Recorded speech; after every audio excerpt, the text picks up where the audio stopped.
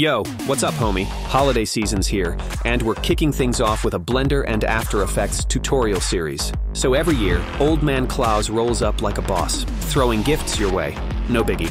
This year, the deer hit the pits, and old buddy's rolling in with pure metal power instead. Man's really sliding into the season. Proper sideways flex, huh? So today, we're talking drifting, and don't even think about clicking off because the talk's gonna be lit. I'm no rookie behind the wheel. I've got physics down like the back of my hand. So don't expect any of that. Catch the universe's vibe, align with the flow nonsense here, alright? We ain't here for that whack shit. Real ones go hard on animation, and that's the only way it doesn't look like the half-assed, trendy garbage everyone's hyping up these days. Forget the 12 animation principles. They're off for a smoke while we're adding some hardcore driving feel physics that'll make even Pixar's best reconsider their entire process especially when they find out I did this in the damn After Effects. We're gonna create such an animation that your virtual car will slide into turns like your dad walks into the garage, confidently, sipping on a cold one. Buckle up, Uncle. It's about to get hot. And we start with the fact that we need a ride. What kind of drifter are you if you ain't got a beater? Zip up and dive into the garage. It's time to build your own beast. We need a technical drawing. Let's keep it professional. Hand a crayon to a three-year-old and you've got yourself a Cybertruck. Huh? If he can pull it off, so can we. No excuses. This sketch will remind me for sure that the car has to have wheels and a steering wheel. At the very least, we need wheels. Or just two if you're some next level pro. But we'll stick with the classic version.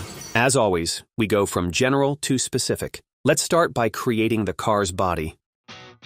I add a reference to the scene to guide the modeling process. Next, I create a cube, switch to edit mode, and shape the car's body.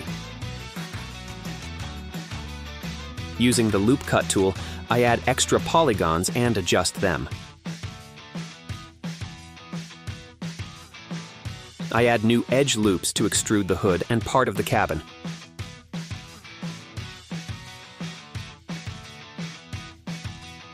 Then, I create wheel arches for the front and rear wheels. The rear arches will be barely noticeable, while the front ones will be larger and more defined.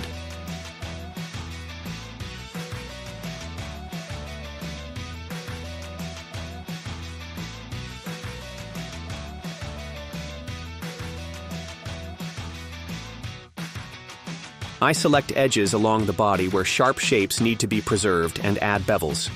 Then, I check how the mesh looks with the subdivision surface modifier applied. If needed, I make adjustments to the mesh for better results. After some tweaks, I've got the car body looking like this. To make material assignment easier down the line, I've split the body into two parts, each set to have different materials. So you don't fall asleep watching, I went ahead and created the rest of the car body elements off camera. I kept the polygon count low, to make the shapes easy to tweak if needed. Next, I apply the subdivision surface modifier, but only to the parts that need smooth curves. The body stays as it is.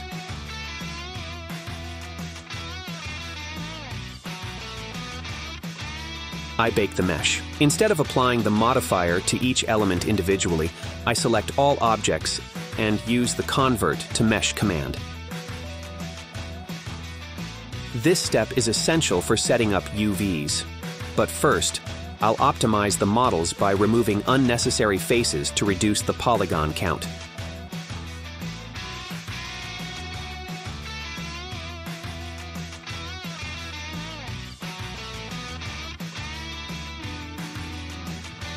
Next, I assign materials.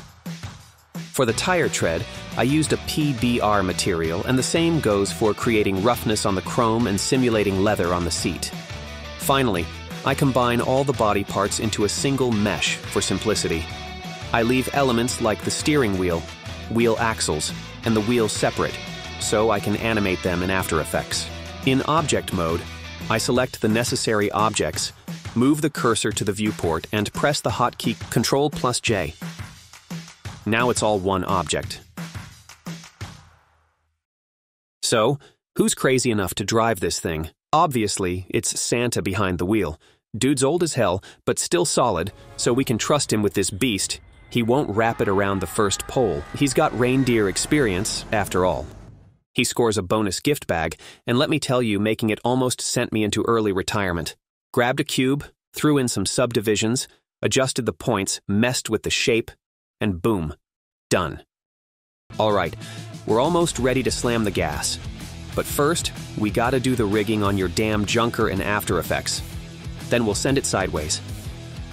This stuff's in the full Blender and After Effects course.